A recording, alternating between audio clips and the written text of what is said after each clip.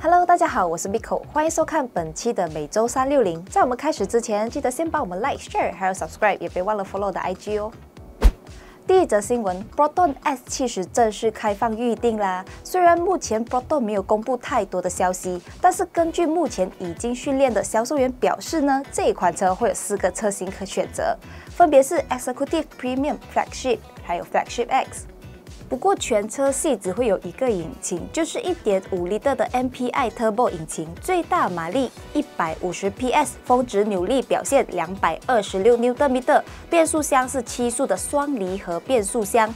还有一点波动的新车现在都会有 ADAS 系统，现在 S70 也是有，据说这一款车也会有 Level Two 半自动驾驶系统，所以安全性还是不错的。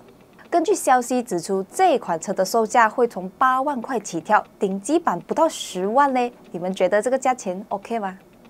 来到我们的第二则新闻，Mazda CX-8 日本停产，但是马来西亚不受影响哦。大家知道 Mazda 在本地有一款很热门的八座 SUV 车款吗？这款车就是 CX-8，这款车又帅又实用，但是这款车已经宣布会在二零二三年年末在日本停产。这主要是因为 Mazda 还有一款新的 SUV 要发布了，这款车就是 CX-80，所以它会取代 CX-8 的地位。不过马来西亚的朋友。就不需要太担心，因为跟根据之前 Burmas Auto 宣布，日本市场不影响本地，因为本地的 CX-8 还是会继续生产的，因为这款车在马来西亚、印尼还有泰国市场的销售成绩还是很不错的，加上本地是 Mazda 东南亚的生产重整，因此还是有机会的，喜欢的朋友还是可以入手的哦。第三则新闻。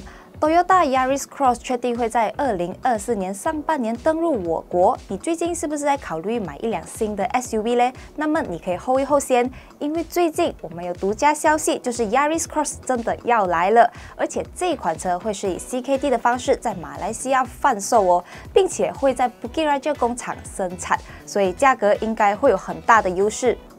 然后加上之前 UMW Toyota 也表示，未来的每一款车都会有混合动力版本。加上 Yaris Cross 本来就会有混合动力版本，而且 Yaris Cross Hybrid 的动力表现也会更好哦。因此，这个混合动力版本应该可以期待一下的。而且，Toyota 的混合动力系统，你会没有信心咩？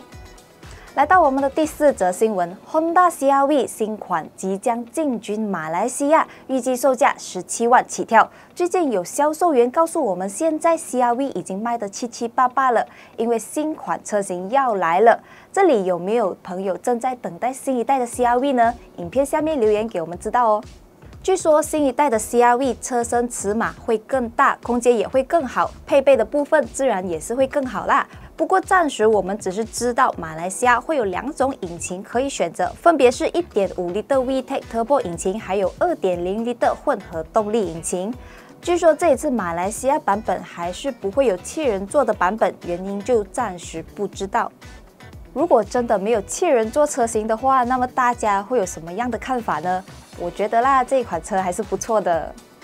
第五则新闻，Hyundai Tucson 真的要来马来西亚市场了。现在真的是 SUV 的年代，最近又有一款 SUV 要来马来西亚了。这款车就是 Hyundai 的 Tucson，而且这一次应该是长轴距的版本，也就是说这款车的空间表现应该会有很大的优势哦。